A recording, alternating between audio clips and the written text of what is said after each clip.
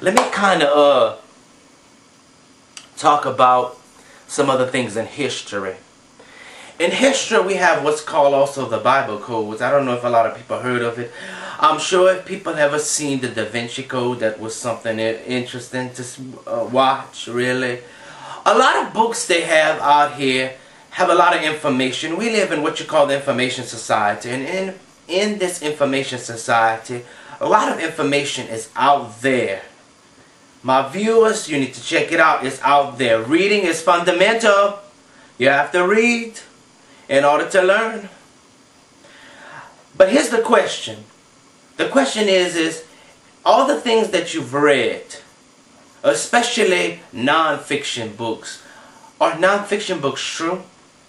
Well, if you kind of remembered, not too long ago, they had a writer who wrote about his memoirs. He was on Oprah. And if you think about it, the memoirs were not true. So that's the question. Are all nonfiction books, are they true? Or is part of it true and part of it a lie?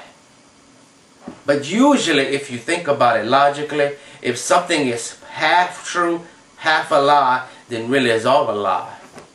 If you think about it logically. But I'm not going to make that decision to my viewers. It's for you to make that decision for yourself.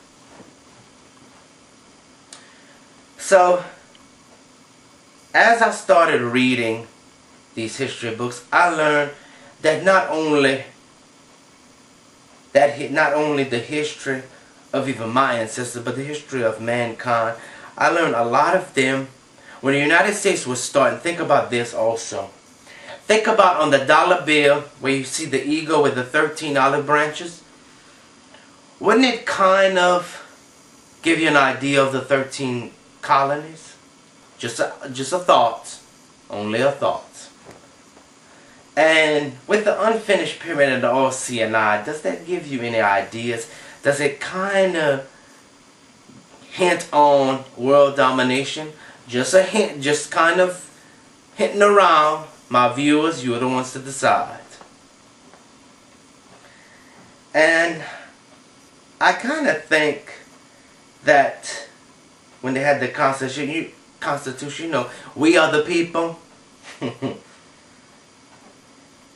I think that when they wrote the Constitution at the time, they, I think their logic was meant for that time. And I'm kind of thinking, because the Constitution has been revised more than once. There's new laws, new rules.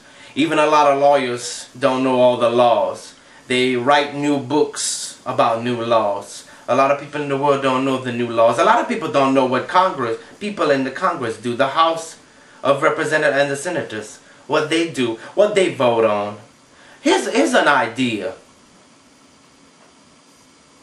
Why can't the public, I mean everybody in the world, have a chance to vote for certain bills that get passed in Congress, why does it have to be always the House of Representatives and the Senators?